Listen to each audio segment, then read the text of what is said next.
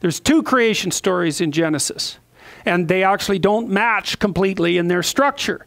And what happened was someone they call the redactor, maybe it was a bunch of people, we don't know, took creation story one and creation story two from different places and thought, well, these are sort of the same and they're sort of different, and people are going to be unhappy if we dispense with this one, and they're going to be unhappy if we dispense this this one, but they don't make sense together. So let's see if we can put them in some kind of order that makes approximate sense. And they took the newer one and put it second, and took the sorry, they took the older one and put it second and put took the newer one and put it first. So Adam and Eve is an older story than the story that I just told you.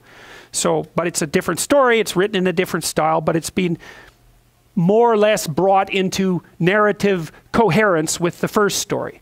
So, and you could say at the level of the sentence, there is paradoxes, but at the level of the chapter, let's say the stories make sense. So, okay, so what happens?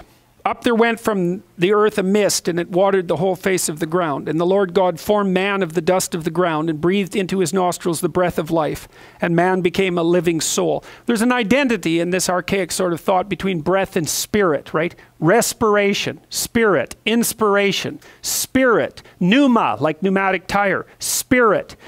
The breath contains the spirit. Well, why is that? Well, because when people die, the breath leaves their body, and so it's an easy thing to identify that with the animating spirit, right? Anima means spirit as well. So, so th that's the phenomenological reality of the story. And Lord God planted a garden eastward in Eden, and there he put the man whom he had formed. Eden means well watered place. Well, why? Well, where do you want to live? These are desert people, right, who are writing this. Well, what do they want? They want an oasis. What's an, what's an oasis? It's a garden with water. Well, you're going you're to live somewhere. It's not going to be out in the middle of the damn desert. You want to be in a garden that's watered. And then you could say you also be in a walled garden that's protected. And that's what paradise means. Paradisa means walled garden. So this initial paradise is a walled garden. Why walled? Order, it's culture, nature. What does it mean? Well, that's the natural environment of human beings.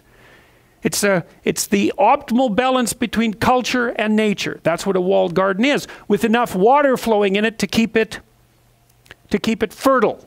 And that water is also chaos, right? There has to be, it, it can't be static and dry and solid and stale. There has to be some living element to it. So, so it's a, a walled place that the water can still uh, uh, fructify.